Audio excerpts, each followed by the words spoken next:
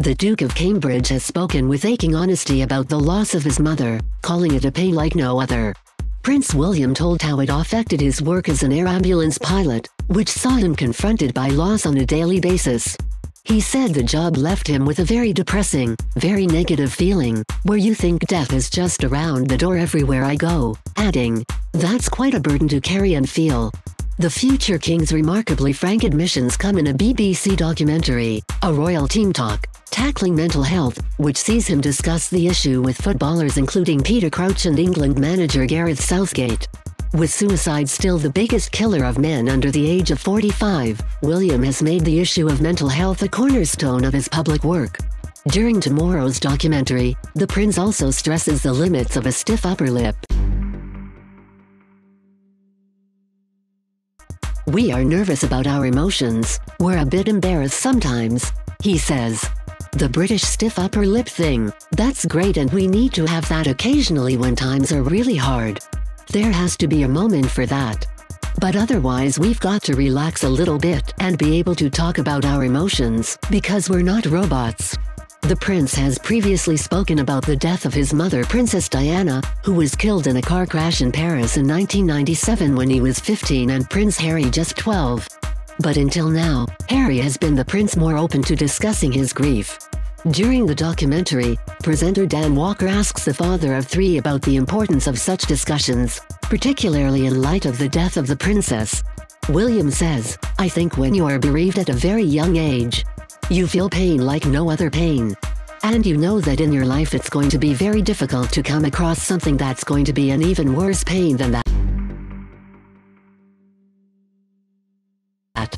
But, he adds optimistically, it also brings you so close to all those other people out there who have been bereaved. He says you can see bereavement in their eyes when speaking to those who have lost a loved one. They want to talk about it, but they want you to go first. They want to have your permission that in that particular conversation, one-on-one, it's okay to talk. Discussing the emotional pressures of his time as a pilot in the East Anglian Air Ambulance between 2015 and 2017, he admits he took the stress home with him. The Duke has previously revealed that one of his first call-outs was to a young man who had taken his own life, which he found particularly shocking. William told how one of the worst aspects of the role was dealing with families who had just lost a loved one, particularly a child. In tomorrow's discussion he goes even further, admitting that at times he found it almost impossible to cope with the grief he was seeing daily. Speaking about the raw, emotional realities of working with the air ambulance, he says, You're dealing with families who are having the worst news they could ever possibly have, on a day-to-day basis. It leaves you with a very depressing, very negative feeling, where you think death is just around the door everywhere I go. And that's quite a burden to carry and feel. He speaks candidly of the particular, personal resonance he felt with some families, and adds, that raw emotion, I just thought listen, I can't, I could feel it brewing up inside me and I could feel it was going to take its toll and be a real problem. I had to speak about it. When you see somebody at death's door, with their family all around them, it's a very hard thing to describe. Even though you don't necessarily know the individual or the family, you share someone's pain, because we all do. We all have families, we can all relate to it. The prince says the biggest lesson he had learned through his work was to talk about his issues, Although William is not believed to have sought professional help like his brother, he has talked previously about speaking to colleagues, family and friends. That's the thing with mental health, we can all relate to it. We see it day to day around us. Let's talk about it. It would make a big difference, he says.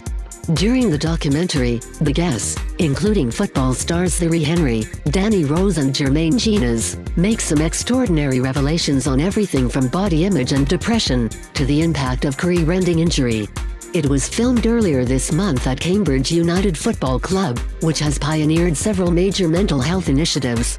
The prince says, there needs to be a turning point where we can pass the message on to men everywhere that it's okay to talk about mental health. We have to normalize the whole conversation.